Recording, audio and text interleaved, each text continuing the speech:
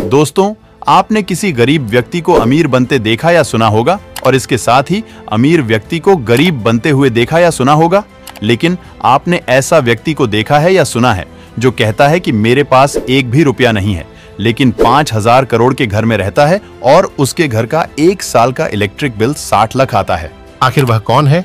तो वह है भारत के सबसे अमीर व्यक्ति मुकेश अंबानी के छोटे भाई अनिल अंबानी। आप उनके बारे में यह जानते होंगे कि कैसे वह अमीर से गरीब।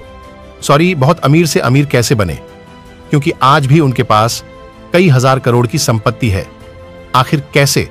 तो इसके लिए वीडियो में लास्ट तक बने रहिए तो चलिए स्टार्ट करते हैं। रिलायंस इंडस्ट्री के मालिक धीरू भाई अंबानी के दो बेटे, बड़े भाई का नाम है मुकेश अंबानी और छोटे भाई का नाम है अनिल अंबानी।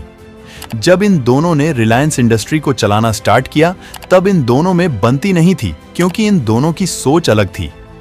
फिर 2002 में धीरू भाई अंबानी की मृत्यु के बाद दोनों में बहुत सारे चीज़ों के लेकर विवाद स्टार्ट हो गए। आखिरकार यह विवाद तीन सालों तक चला।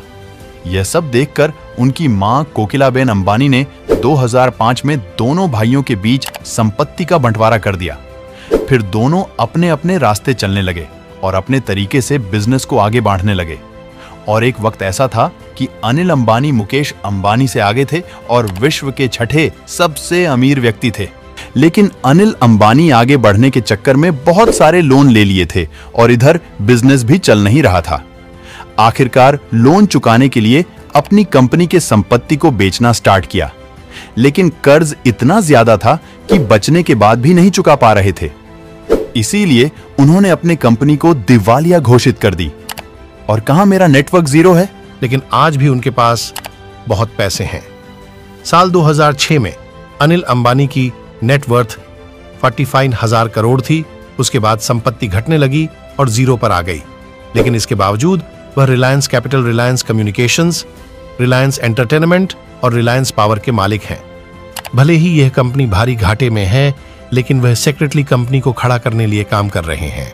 बात करें, इस वक्त की संपत्ति के बारे में तो उनके पास मुंबई में पाँच हज़ार करोड़ का आलिशान घर है।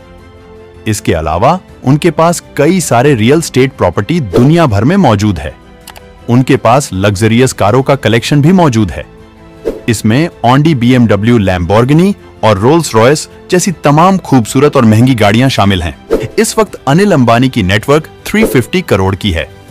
अब आप सोच रहे होंगे कि उन्होंने तो ज़ीरो नेट वर्थ अलाउंस किया था, लेकिन यह पैसे कैसे आए? तो अनिल अंबानी की कई प्रॉपर्टी उनकी वाइफ के नाम से थी, जो इस वक्त उनके पास है।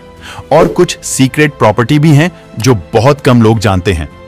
आप किस इस पर क्या राय है कमेंट बॉक्स में कमेंट ज़रूर करें।